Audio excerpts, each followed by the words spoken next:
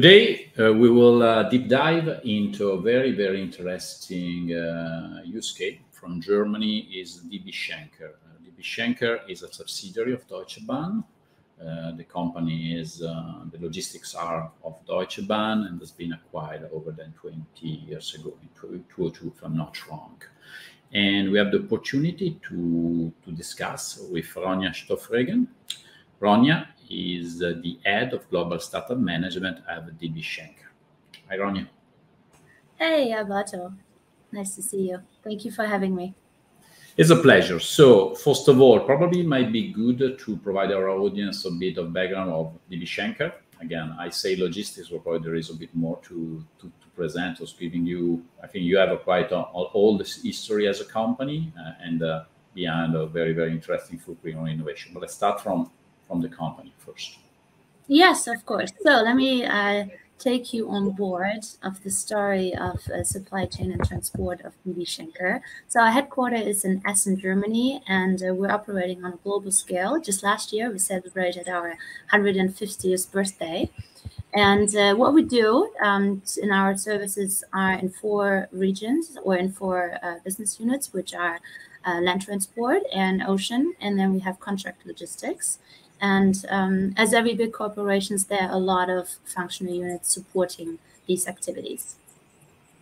And do you have uh, a very, very, let's say, interesting, and also the size of the company innovation unit, if I'm not wrong, is called Global Ventures and Innovation. It's led by Patrick Hofmann. What are the areas that currently, as innovation unit, uh, Schenker is covering? Yes, I'm excited to sh uh, share more about this because um, I'm also very proud uh, being part of uh, the Global Ventures and Innovation um, unit because we um, strive such a holistic innovation approach. So let me guide you through it. So first of all, um, we start with uh, insights and intelligence, uh, intelligence, where we do strategic foresights, where we want to understand trends, understand which is just, let's say, a trend we need to be aware of and which of those trends that really need to be we need to be aware of and take our own actions. Um, here my colleague Jacek is always happy to also share with you some trend reports if you're interested uh, in the in the future. And then um, we go on uh, with the enterprise lab. Um, my colleague Nuri um, is together with the Fraunhofer Institute working on um, yeah projects called Terminal of the Future. So we're aiming for technologies that are not yet embedded in, in real life scenarios, yet we want to truly understand if those technologies are coming or if they're just um, not applicable for operational terms on a daily basis. And then we go over to um, my stream, which would be the venture client arm. So here, together with Sebastian Schumann, it is our aim to collaborate with startups and become their customer. So what that means is um, we don't want to have any ownership of those companies, but really we want to, um, yeah, start pilots, see if those technologies um, make any sense for our daily operations. And here the focus would be on the business units um, so we always try to have new technologies coming into our organization, um, but it can also be in the functional units. And um, I will deep dive into that probably in a minute, but let me go on with a wheel of um, all the streams of global ventures and innovation. And uh, then the next arm would be uh, going into the Schenker venture world, where we have venture building and venture studio, where Tobias um, is guiding um, new building uh, activities where um, either we do it entrepreneurship or we do it entrepreneurship with um, entrepreneurs in residence um, with a uh, agency in Berlin. And lastly, no, two more. So then we have venture capital, where Paulina is um, uh, yeah. scouting startups, where we're going into financial investments. Um, so she's happy to uh, give you more insights about that. And then last but not least, we have the su supply chain pioneers, um, this basically builds a holistic overview into um, the customer centricity in all of our processes because um, it helps us to um, validate some hypotheses, but it would also um, get a like true pain points from the market to better understand, um, yeah, what are the challenges for our customers, and so we can adjust all of our other activities based on customer centricity approach. Very good. So. Uh, this is the whole uh, picture in terms of the overall activity that's been run on the under innovation front by DB Schenker. You are in charge of the venture clienting, the venture client, meaning for, for the people who don't know it, partnering with startups in order to co-develop a solution on board innovation and put the innovation at the service of the company. So the, the company becomes the client of the startups and they start innovating together. So that's your, your field of action. If I'm not wrong, the venture clienting in Schenkers started back in 2016 and you come on board uh, a bit more recently. Uh, before discussing that, I would like to, to deep dive a bit into your background.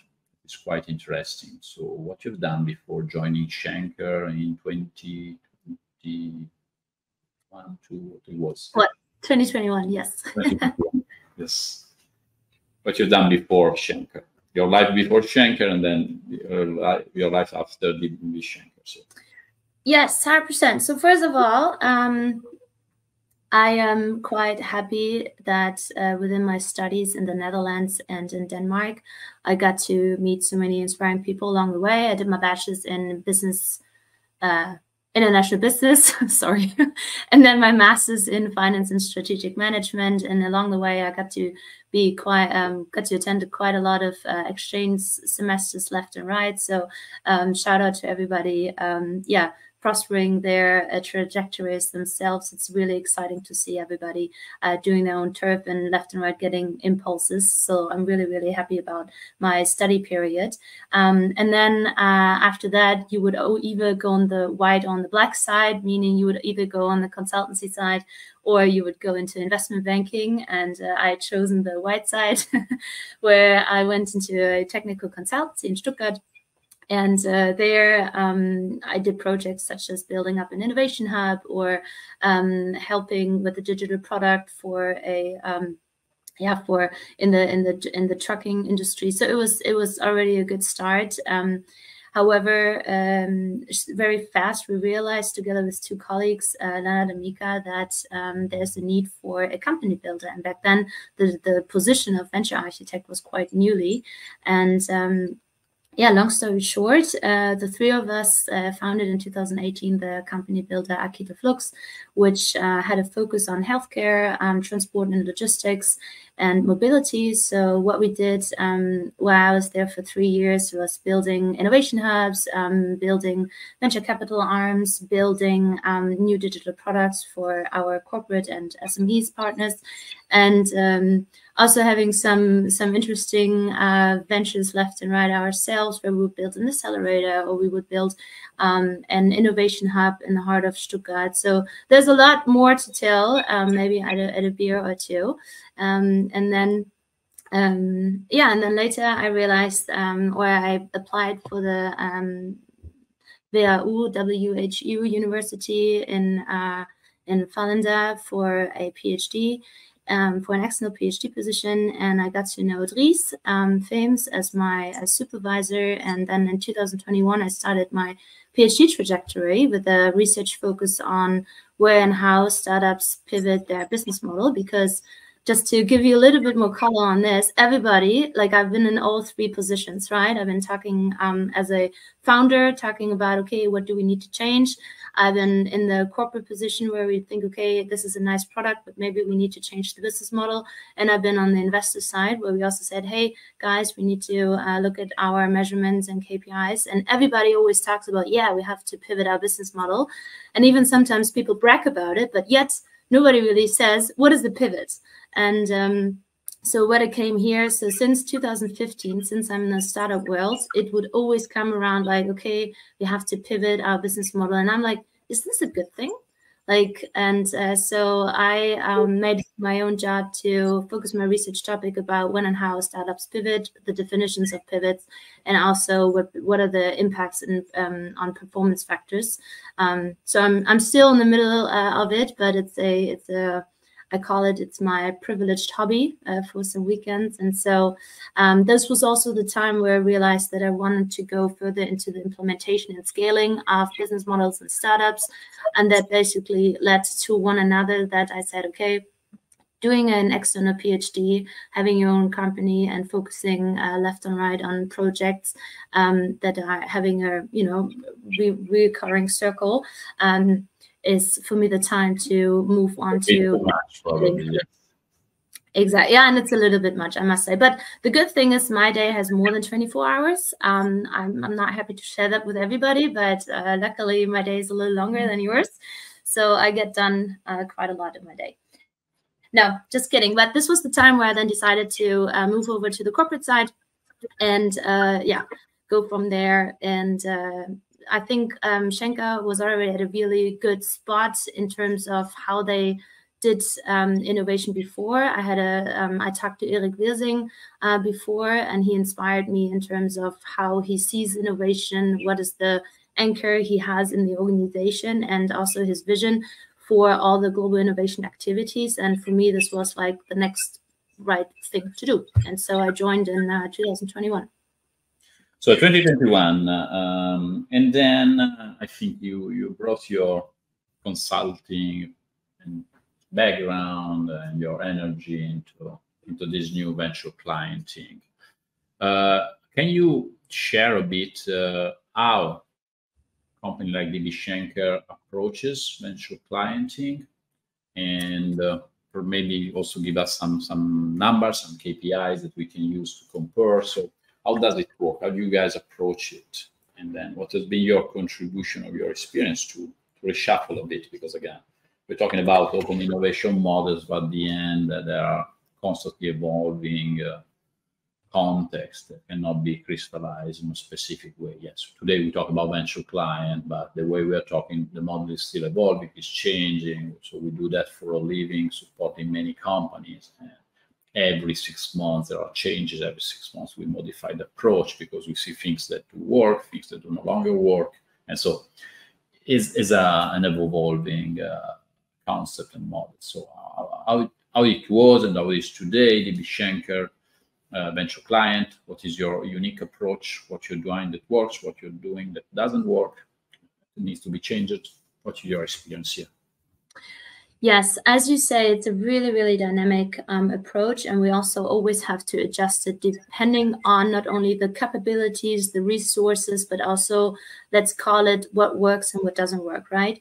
Um, but maybe I'm taking uh, a step three before one. So um, back in 2016, there was a lot of startups approaching DB Schenker on multiple you know, uh, business units, but also countries. And so um, what happened back then was that Erik, um, I realized that there's a need for centralizing these activities.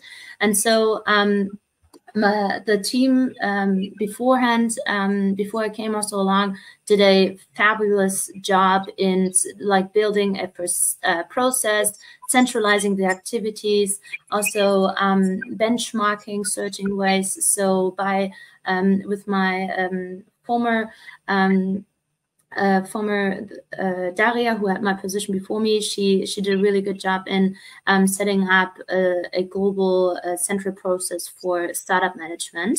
Um, and then here also in brackets, the term venture clienting has just very recently uh, become very attractive. And even I still don't use it on my, uh, for instance, LinkedIn approach because it's just known in our bubble.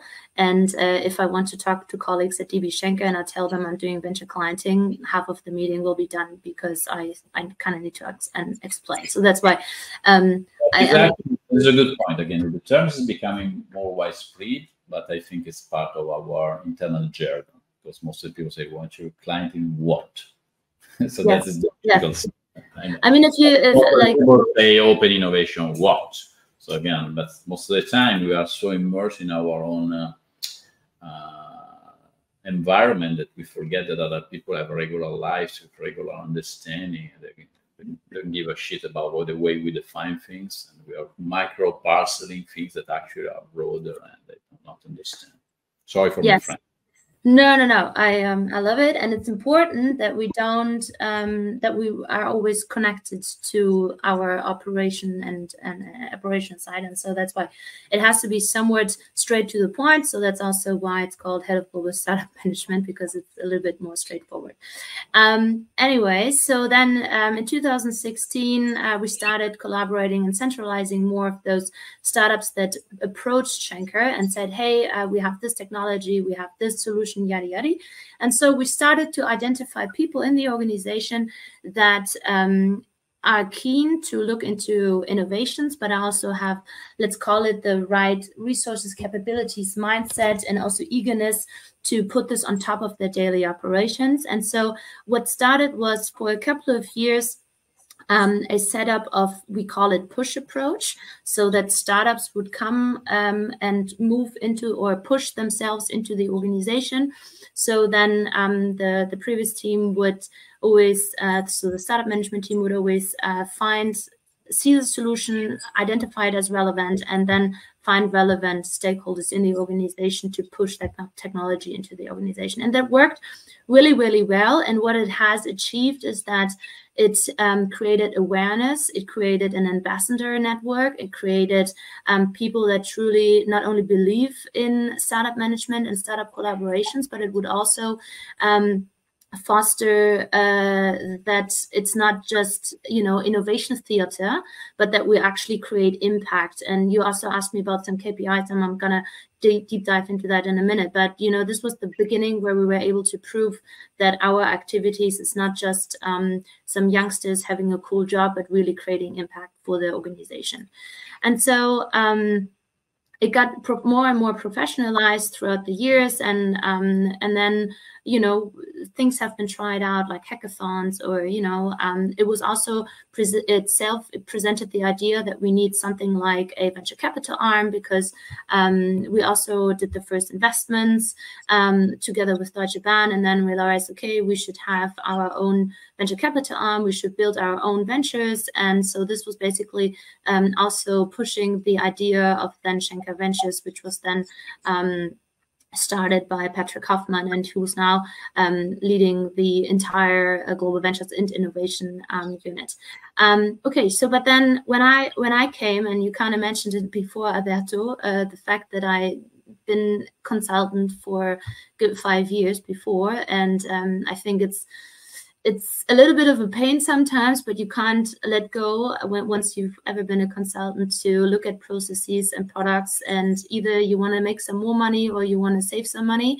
Um, so maybe this is just uh, what what you learn after a lot of business schools and consultancies. It's just wherever I go, even if I just buy a coffee at a store and it's like not working well, I'm already like, oh, okay, I need to change something. So that basically also happened at Schenker and I must admit, I think it can also be quite exhausting uh, working with me because I, I mean, obviously I want to understand everything, but then when I see there's potential for changing things, then um, I also want to make sure that we um, create the biggest impact for Schenker. And uh, together with Erik, I had a perfect companion who understands and sees it and also helped me to, um, yeah, get those things as thoughts, those potentials to realize them in real world. And the biggest thing I think now in the past few years, what we've changed is, for instance, um, we identified with a pull approach. So, meaning that not just pushing startup solutions into the organization, we now um, try to focus on a pull approach, meaning we start at the organization defining strategic scouting fields, defining like coming from the digital strategy and then understanding where are the fields and products and processes that we can digitize and automate with the help of startup solutions. So how can we pay into the digital strategy of DB Schenker? And then so we have uh, ongoing workshops with business and functional units to identify pain points. Um, I mean, here another whole session could be about what is a pain point, um, because it's it's not about um, building a new cloud infrastructure, and it's also also not about how to connect your monitor to your computer. So you know you have to kind of find the right balance um, within those two. Um, and then also um, we set up a new governance structure. So we have implemented innovation boards. Um, and this in combination helps us to not just do pilots for the sake of doing pilots with startups, but to actually um, like what's for me most important is once the pilot is implemented and the organization sees the value again either by saving or making money and and then we go on and say okay now this pilot is going to be implemented into our standard operations. And that is the point um, where i think this has been a success because we hit the nail upon uh, finding startups that really matter and that we're going to last longer. And um, so this is basically what we've done in the last two years, growing the team, um, also building the venture client community so we can learn left and right from it, um, and uh, yeah, strengthening the positioning of Schenker not only internally of Schenker but also externally. But here's also something uh, to be announced soon, so stay tuned. Now give us some numbers again also to, to help to understand the size. So how many people are currently ranking, running this venture client uh, factory practice, call it whatever you like? How many startups per year do you typically engage with? Uh, uh, how many scouting sprints or how many uh, challenge-based uh, strategic scouting field originated uh, scouting you, you, you run, uh, how many pilots, how many pilots turn into industrialization. Give us some numbers to understand what the flow of activities for a company like DB Schenker, ballpark. Yes, absolutely. So for all the startup activities, so this also includes the innovation projects, we are um, full-time employees. We are seven people, and then um, we have three to four youngsters um, that help us with either the master thesis or interns or working students. Um, so this is basically the team out of global innovation, and then we have the two streams innovation projects and venture client unit. And then um, number of startups that approach us, let's say, um, let's say it in a month because it ebbs and flows. Um, but we typically have between 10 and 20 startups in a in a month that somehow either get to us or we get a link or they approach us via LinkedIn. Um, so this also like looking at total numbers so right now we have more than 4200 um, startups in our innovation platform.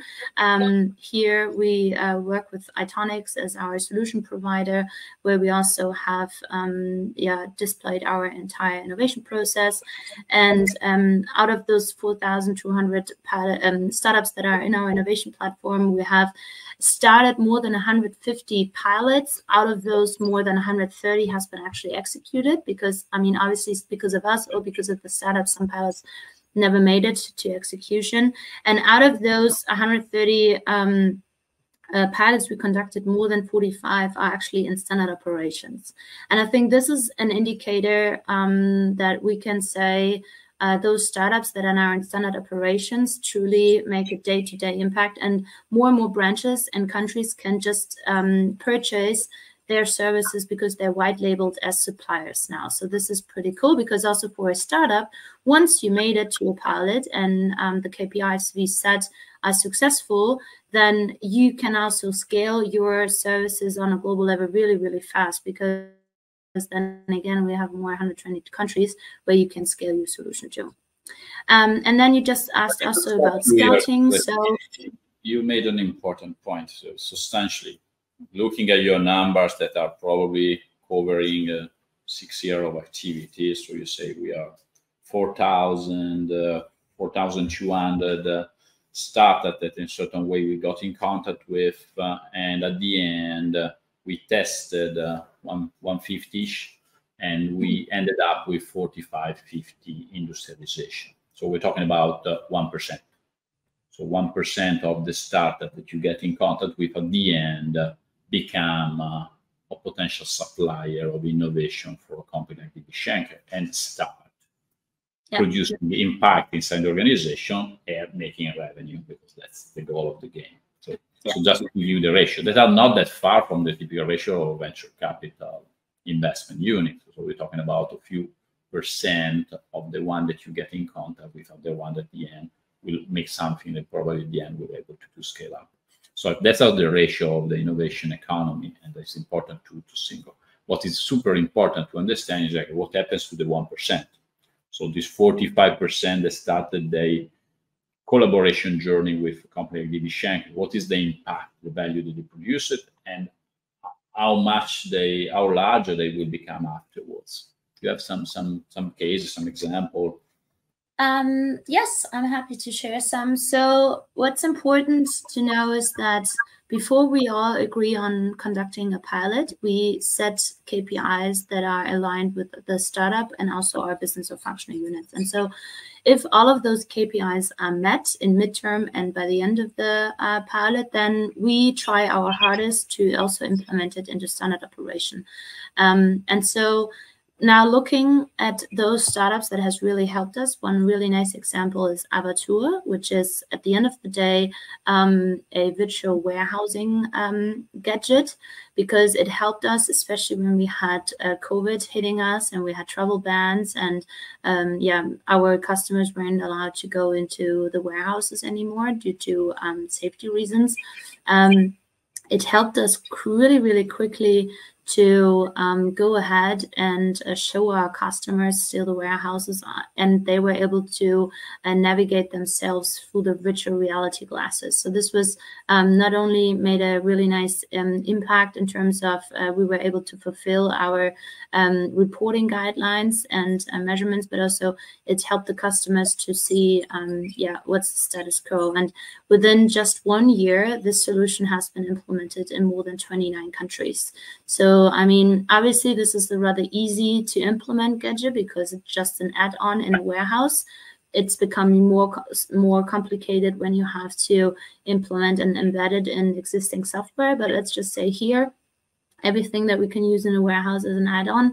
Um, having the scaling in such a short uh, time um, definitely can prove that if the demand and the want is there from the from the business side, then um, there are no limits for globalization. Yeah. That's interesting. And I think you say something that is very accurate because at the end we we, are discussing with many companies like yours to say, okay, what are the typical time for implementation? I must say this is one of our success stories, right? So uh, I wish I could. And but when there is a strong digital component, uh, I, I, again going back to the startup economy, digital startup solution typically scale up fast because they are easy. If you go to the deep tech solution, that's something that requires to be more to be more ingrained with production, factories, uh, yeah. logistics. It takes longer. Again, I was discussing with a big uh, Korean um, player and say, okay, any pilots that uh, is not touching the, the factory in Seoul takes a short time to be implemented. But when we start doing things that impact the real factory manufacturing issues, takes long, it may take years. Doesn't mean that it's not worthwhile it doesn't mean that it's worth work to, to, to be contained. But again, we need also to be, get ready that something has a definitely shorter navigation cycle and something takes longer.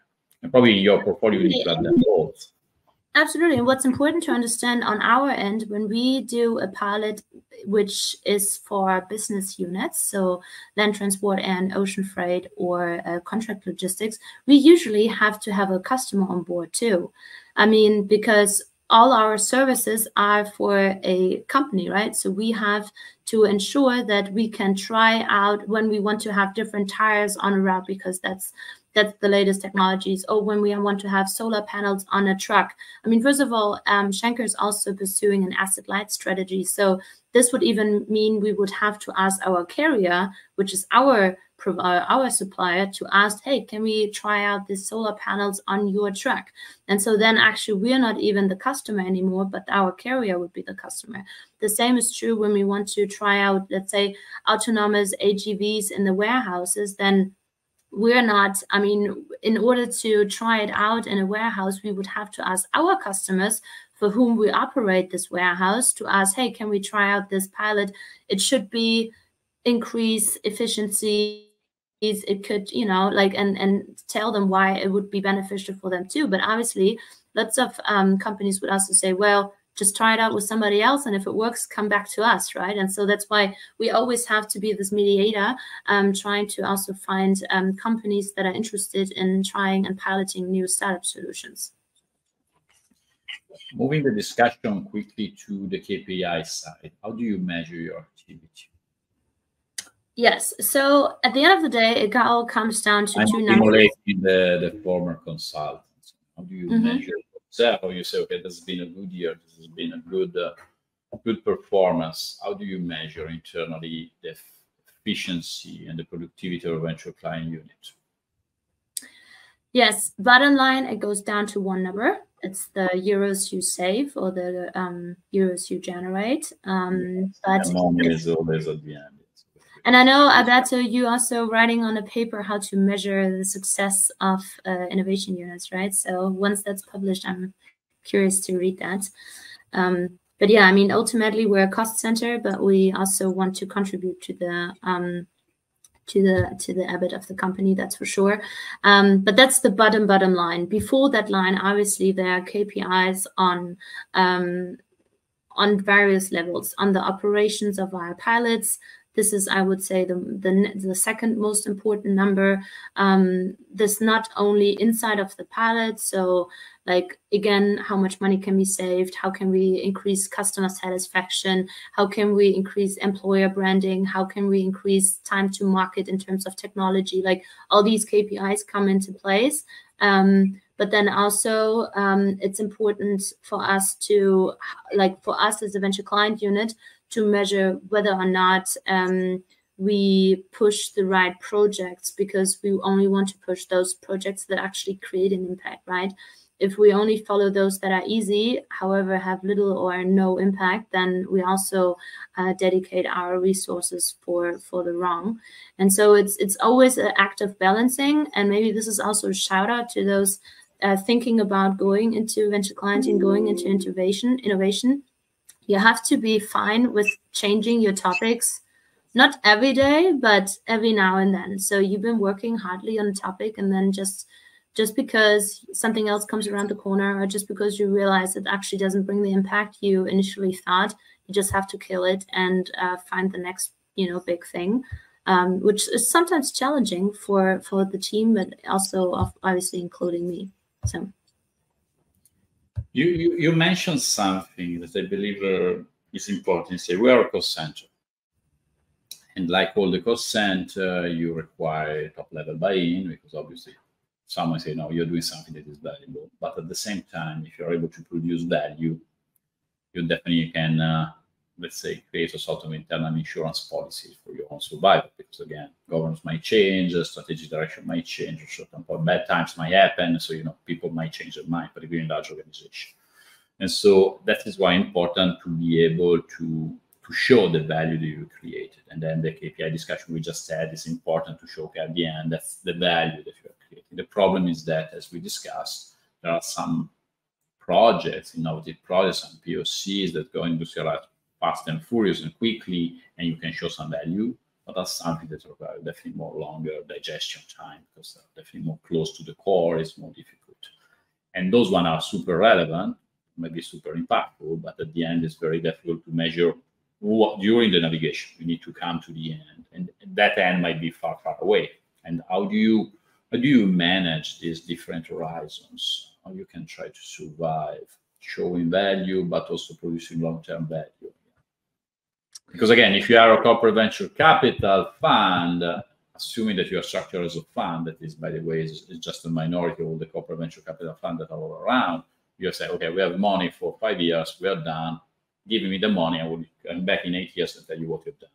But if you have someone that has, again, you are competing with the annual budgeting over on an annual basis, that's something that is a complicated discussion to have because you need always to show something at the end to nurturing the next big things. How do you manage that? Difficult question, you know. it is it is a difficult question and um, i would also say depending on who you have to report to you need to have different argumentations at hand um, and i mean maybe this is way too honest but um, ultimately i think that's just how we all play this game right? Um, so i understand and i think um, ultimately everybody in innovation um, is well guided when you have some numbers um, to prove your point.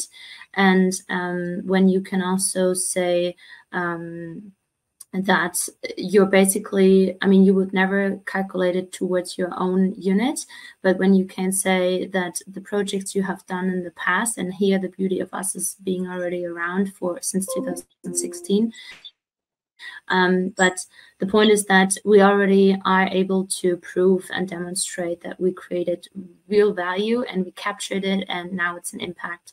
Um, but definitely we need to have people um, in the top management level um, trusting us that we believe um, that we, you know, um, put our time into the right projects. And um, it must also be okay that maybe sometimes um, it was a good project until it was not a good project anymore. And so this is a little bit of the chaos everybody who is pushing innovation has to deal with. And I think it's also part of my job to make it as freely as possible for the team and the startups to operate, be the mediator. So if things go wrong, be there and you know take it and uh, fight for it. That we can either continue or also um, cancel certain projects. But I think that's just um, part of the job. So I, I can't really say um, how we demonstrate it because it really depends of who. Um, I think the best way is always to demonstrate the value we can create. Um, and the issue is always depending on the management level that they only plan in 6, 12, or 24 months. So, and innovation cannot be uh, captured and put down a number in, in this short period of time. And that's why, um, yeah, we have to have a long breath. That's a good point, yes. And by the way, at the end, uh, one of the the common point is working on communication, internal communication, external communication, because despite your job is definitely more more more core at the end also the way people perceive it is, is, super important but the fact that you have been working inside the organization since a while you'll be able to, to reach many people you are able to show value to show progress uh, that's also yeah. definitely make your life a bit easier uh, to ending our conversation uh, what is your number one uh, learning after the his years at the helm of um, the venture client unit of DB Schenker, and what is your number one tips for your colleagues?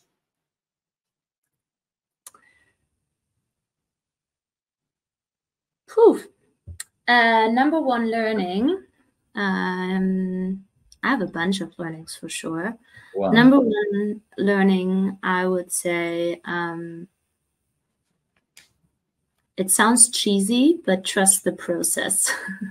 so um, simply because sometimes I was like, okay, um, you know, there were so many ob obstacles, and then I would just always not have like one defined goal, but always push in the right di- in the same direction.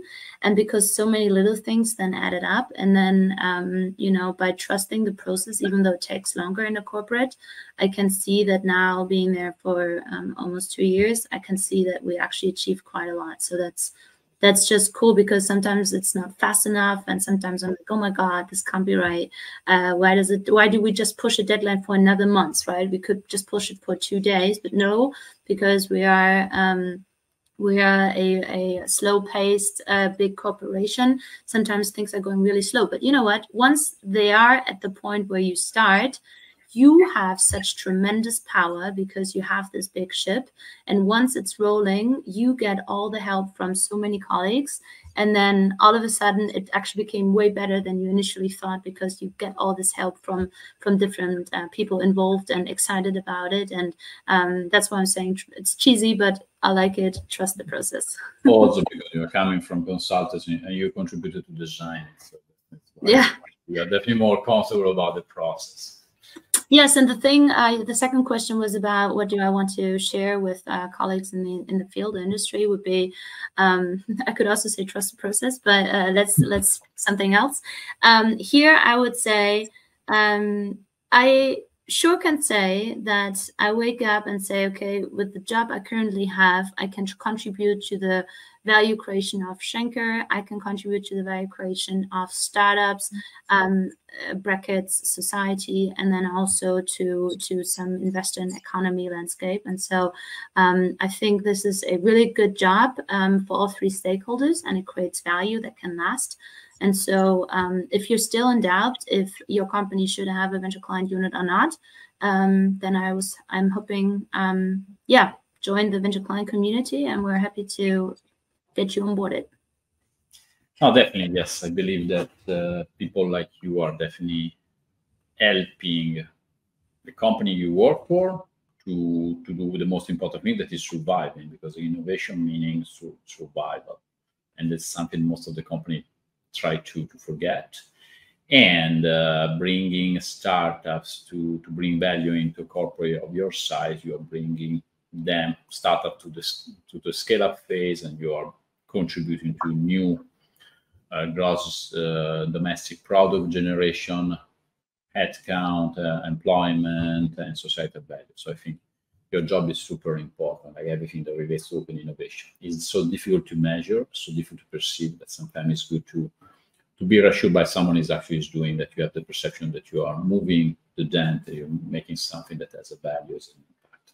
So congratulations for uh, the work you've been doing. We'll definitely stay in touch to to, to monitor progress. Uh, all the best for your PhD research, because again, all of us is pivoting uh, I would say almost every day, or if not all every day, every week. So I think this is an important topic to definitely to be deep dive. And uh, let's talk soon. Thank you. Yes. Thank you for having me. Have a good day.